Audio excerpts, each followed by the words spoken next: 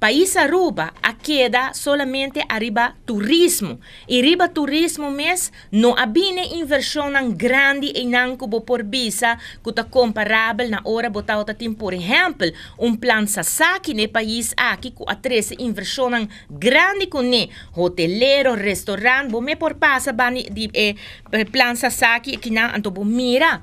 E é dúvida tá si é Green Corridor que o governo aqui tanto tapape com que o pueblo aqui tanto lo tem que vai pagar pe se ele 13 é mesmo um spin-off com Sasaki Plan a 13. E não bota mira que uma vez a cifra não demonstrar que o qual que o governo aqui lo qual que o ministro Eyman quer bisa que não escolhe para invertir é um farsa, é um ganhamento. E resultado cita com Aruba a reduzir sua entrada, é famoso, nós também eliminar BBO.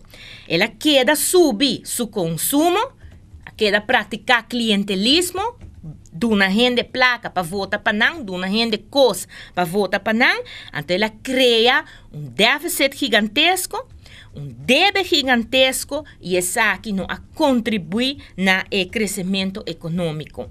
E todo ganhamento não aqui, tá resultado o que tem economia e inversionista não bota mira não que não tem confiança do governo aqui e pensei ora não bota mira que inversão não aqui dor de insegurança que tanto ganhamento tá trece com né tá pone ora e não que inversão não privada também tá queda cai cada vez. E essa aqui ora e não da estanca economia.